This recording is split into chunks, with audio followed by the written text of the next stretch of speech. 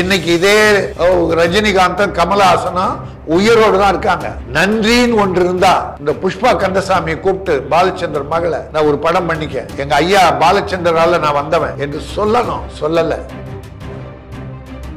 எம்ஜிஆருக்கு அஞ்சு லட்சம் ரூபாய் ஒளிவிளக்கு படத்துக்கு என்ன கண்டிஷன் தெரியுமா? அந்த மாபெரும் ஹீரோவுக்கு கலெக்ஷன் மன்னனுக்கு சம்பளம் அன்னைக்கு அஞ்சு லட்சம். குருதி புனல்னு ஒரு படம் எடுத்துக்கிட்டா கட்டி பிடிப்பாரு கிஸ் அடிப்பாரு அவ விடுங்கன்னா என் பொண்டாட்டி நான் அடிக்கிறேன். பல தாய்மார்கள் கூச்சப்பட்டாங்க. பெட்ரூம்ல பண்றத கூடத்துல வந்து பண்ண முடியாது நீ. பாத்ரூம்ல பண்றத நீங்க வந்து கூடத்துல பண்ண முடியாது. ஒரு கலாச்சார சீரழிவு கமல்ஹாசன் மூலமா ப்ரொடியூசர்ஸ் லாஸ் ஆனாங்க. கதாநாயகர்கள் கண்டுக்கவே இல்லை. ரஜினி கேட்க ஆரம்பிச்சாரு. என்எஸ்சி ஏரியா என்ன கலெக்ஷன் கமல் கமர்ஷியல் அந்த ஆள் எப்பவுமே. எப்பவுமே அவர் ப்ரொடியூசர் நலன் பார்க்க மாட்டார். வணக்கம். சார் தமிழ் சினிமாவில் இப்போ இருக்கிற ட்ரெண்டுக்கும் இதுக்கு முன்னாடி இருந்த காலகட்டத்தில் இருந்த ட்ரெண்டுக்கும் என்னென்ன சார் வித்தியாசம் வந்து இருக்குது? என்னென்ன பாசிட்டிவாக அமைஞ்சிருக்குது? என்னென்னலாம் நெகட்டிவாக அமைஞ்சிருக்குதுங்க சார்? இப்ப இருக்க சினிமா சுயநலம் மிக்கவர்களால் சூழ்ந்து கொண்ட ஒன்று. பத்து வருடமாவே அது ஆரம்பிச்சிருச்சு. ஆனால் ஒரு பதினஞ்சு இருபத் இருபது வருஷத்துக்கு முன்னால் ஒரு சுயநலம் இல்லாமல் சினிமா தொழிலை தெய்வமாக மதிக்கக்கூடிய நல்ல மனிதர்கள் இருந்த ஒரு உலகம் இந்த சினிமா உலகம். குறிப்பாக தமிழ் சினிமா உலகம். அந்த காலத்தில் எம்ஜிஆர் அதுக்கு முன்னால் இருக்க சினிமா ரொம்ப நல்லா இருந்தது.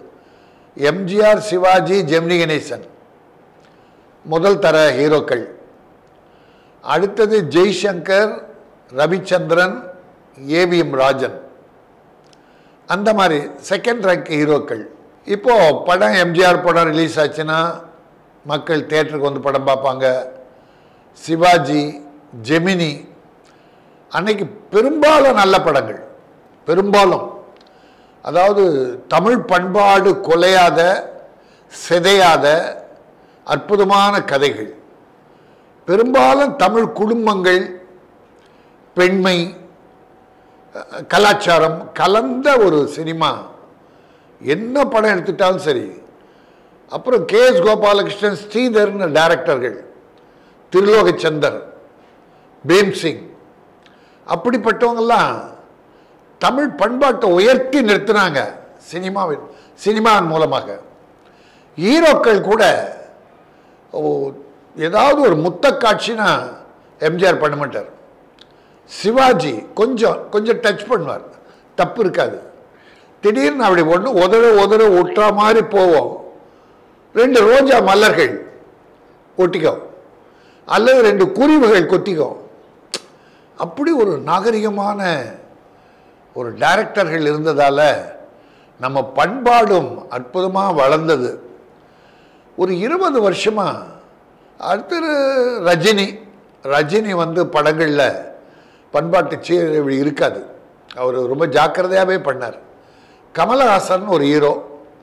அவர் எதை பற்றியும் கவலைப்பட மாட்டார். அவர் வந்து வல்கரை அதிகமாக புகுத்துந்து கமலஹாசன் தான்.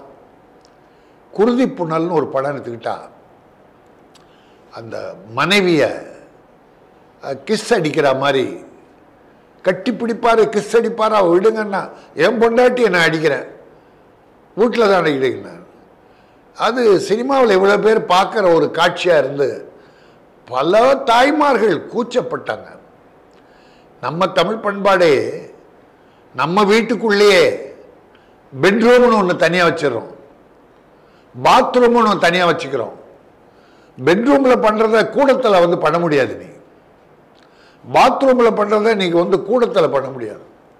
ஆனால் ஒரு கலாச்சார சீரழிவு கமல்ஹாசன் மூலமாக கொஞ்சமாக தான் பண்ணார். ஆனால் அதுக்கு பின்னால் கூச்சம் இல்லாமல் போச்சு. படம் வர்றவன் எடுக்கிறவன் கொஞ்சம் வேகமாக ஏன்னா எல்லாரும் ஒரே மாதிரி இருக்க மாட்டாங்களே. அதனால் அந்த சீரழிவுகள்லாம் அந்த காலத்துலேருந்து இருந்து கமர்ஷியலாக இருந்தது. அந்த காலத்தில் தான் திருட்டு வீசியடையெல்லாம் துவங்குச்சு. கேபிள் டிவி ஆரம்பித்தது நைன்டி ஃபைவ் நைன்டி சிக்ஸில் கேபிள் டிவி ஆரம்பித்தது அப்போ தயாரிக்கிற படம் பூரா கேபிள் டிவியில் போட ஆரம்பித்தான் ப்ரொடியூசர்ஸ் லாஸ் ஆனாங்க. கதாநாயகர்கள் கண்டுக்கவே இல்லை. சம்பளத்தை ஒவ்வொரு படத்துக்கும் ஏற்றிக்கிட்டே போனாங்களே தவிர நாம் நடித்த படம் மூணாவது நாளே கேபிள் டிவியில் போடுறானே திருட்டு விசிட்டில் வந்துடுது என்ற கவலை இந்த ஹீரோக்களுக்கு தமிழ்நாட்டு ஹீரோக்களுக்கு நைன்டி ஃபைவ்லேருந்து இல்லாமல் போயிடுச்சு. அவன் அவன் சம்பளம் கோடி கோடியா. ஒரு படம் சக்ஸஸ் ஆச்சுன்னா அன்னைக்கு ஒரு கோடி வாங்கியிருப்பான்னு வச்சுங்க ஒரு படத்துக்கு. அந்த படம் சக்ஸஸ் ஆச்சுன்னா என்எஸ்சி ஏரியா என்ன கலெக்ஷன் ஹீரோ கேட்க ஆரம்பிச்சான். ரஜினி கேட்க ஆரம்பிச்சாரு. கமல் கமர்ஷியல் அந்த ஆள் எப்போவுமே. எப்பவுமே அவர் ப்ரொடியூசர் நல நலன் பார்க்க மாட்டார். அவங்க எல்லாம் ஏரியாவில் என்ன என்எஸ்சியில் என்ன கலெக்ஷன் அப்படின்னு கேட்டுட்டு சம்பளத்தை உயர்த்திட்டான். அப்போதான் கோடி கோடி கோடியாக உயர்ந்தது. அன்னைக்கு எம்ஜிஆர் முப்பதாயிரம் நாற்பதாயிரம் ஐம்பதாயிரம் அவர் கடைசியாக ஒளி விளக்குன்னு ஒரு படம் பண்ணுறார் ஜெமினி ஜெமினி வாசனுக்கு. பிறகு நம் நாடுன்னு ஒரு படம் பண்றாரு நாகிரெட்டியாருக்கு வாகினி ஸ்டுடியோவுக்கு. அதில் அவருக்கு சம்பளம் எவ்வளோ தெரியுங்களா? எம்ஜிஆருக்கு அஞ்சு லட்சம் ரூபாய் ஒளிவிளக்கு படத்துக்கு. என்ன கண்டிஷன் தெரியுமா? இந்த படம் மட்டும்தான் நீங்கள் நடிக்கணும். அப்போல்லாம் இந்த படம் பாதி பண்ணிவிட்டு இன்னொரு படத்துக்கு போவாங்க. அப்புறம் இன்னொரு படத்துக்கு நடிப்பாங்க மூணு படம் பண்ணுவாங்க ஒரே சமயத்தில். ஆனால் வாசன் ஜி கே நம்ம ஜெமினி வாசன் எம்ஜிஆருக்கு ஒரு கண்டிஷன் ஆனால் அரசியலில் எம்ஜிஆர் இருந்தால் தேர்தல்னா ஷூட்டிங்கை விட்டுட்டு தேர்தல் இப்போ பிரச்சாரத்துக்கு எம்ஜிஆர் போயிடுவார். அதனால் வாசன் என்ன பண்ணார்? உங்களுக்கு அஞ்சு லட்சம் அப்போ மூணோ ரெண்டோ இருந்தது. அது அஞ்சு லட்சமாக்கி இந்த படத்தை முடிச்சுட்டு தான் நீங்கள் வெளியே போகணும்னு. ஒரு கான்ட்ராக்ட் பேசி அஞ்சு லட்சம் தான் அந்த மாபெரும் ஹீரோவுக்கு கலெக்ஷன் மன்னனுக்கு சம்பளம் அன்றைக்கி அஞ்சு லட்சம். பிறகு நாகிரெட்டியார் நம் நாடு எடுக்கிறார். அதுக்கு எட்டு லட்சம் அவரும் அதே கண்டிஷன் இந்த படத்தை முடிச்சு தான் நீங்கள் வேறு வேலைக்கு போகணும். அது எம்ஜிஆர் ஒத்துக்கிட்டு பண்ணார். ஆனால் இப்போது ஒரு பையன் வரான் ஹீரோவா அவன் நடுத்தரில் நாய் மாதிரி சுற்றி அலையிறான். தேடுறான். வேஷத்துக்கு தேடுறான். அது தப்பு இல்லை கம்பெனி கம்பெனி ஏறுறான்.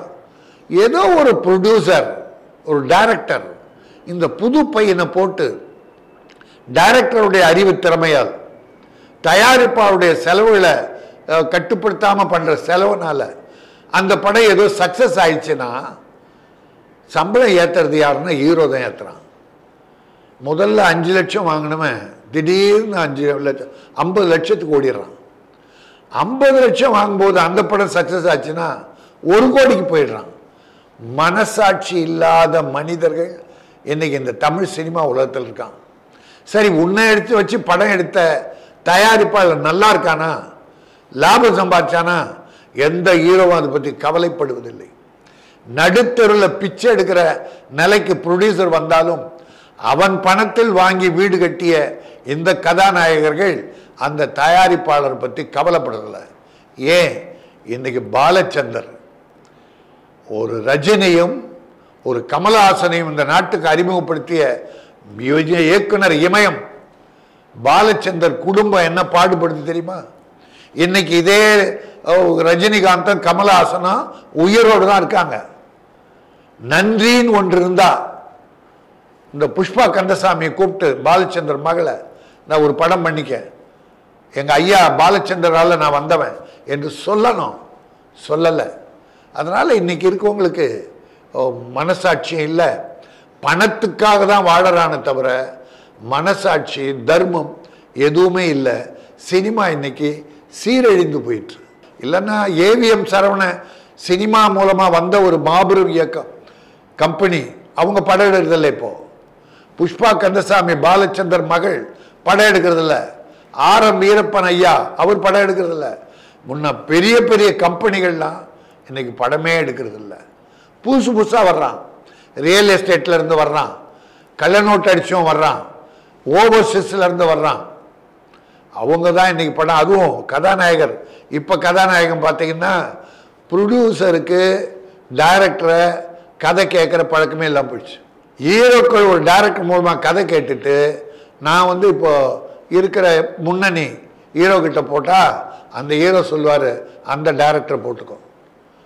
அப்போ அவனுக்கே அப்போ அஞ்சு கோடி பத்து கோடி சம்பளம் டைரக்டருக்கு இவருக்கு முப்பது கோடி நாற்பது கோடி ஐம்பது கோடி சம்பளம்.